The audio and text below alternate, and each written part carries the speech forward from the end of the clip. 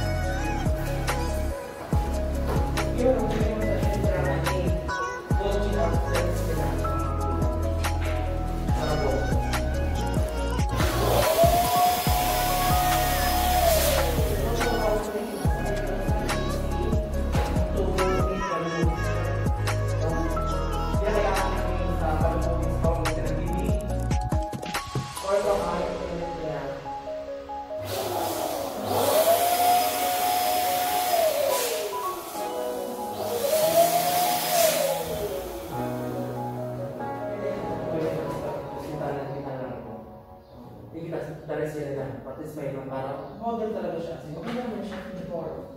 Pero nabibig kita na yun.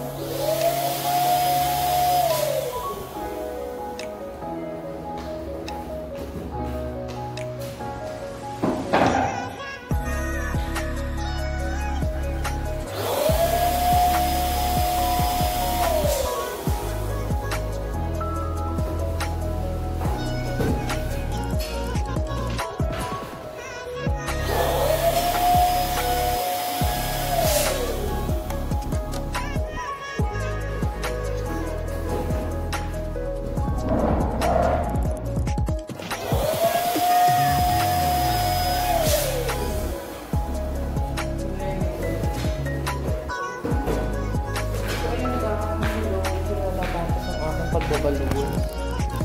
Ayan. Ito naman kayo kung ano, paano how to make it balloon, guys.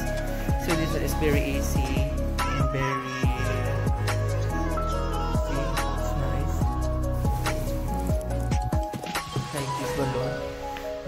nakakalat siya. Ito po yung bombahan namin. Kung paano po ipabomba ang balloon. So, ayan po. So, ayan guys, ang aming balloons. Sobrang ano po. Ayan, paano po gawin ang, ang balloons. Ayan, paano po siya i-fix. Guys. Very easy lang po guys. This is side by side in corner. Ay po yung sa school na kung saan po kami po ay gumawa It's outside po. so ayan.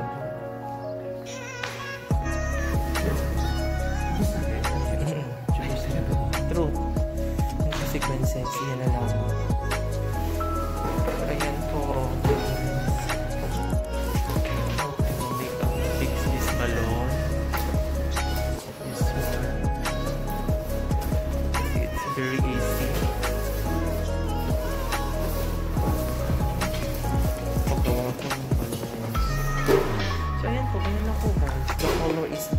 Silver, and white. This is the color of the balloons. Like this. Circle.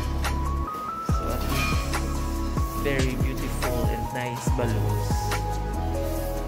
Kasi napakadali lang po guys kung paano siya gawin at kung paano po siya ilagay sa isang bakal. So ayan po. Ito rin po yung yung mga natin na pang balloons balloons. So, guys, ayan po dyan po nang natapos ang aking vlog for today's paggawa po ng balloons. Ayan, decorations balloons for the school. We are working at school po para gumawa po ng balloons. So, ayan po guys, nakita nyo naman po. Diba? It's very easy how to make it uh, balloons for the schools any occasions. Ayan po, napaka tinuruan ko lang po kayo kung paano po gawin. At uh, pag uh, paano yun po ilagay yung kulay kung ano mas magandang kulay. Aside from this, mas maganda po yung kulay gold, silver po, and white color. So, ayan guys. Hello po sa invitation.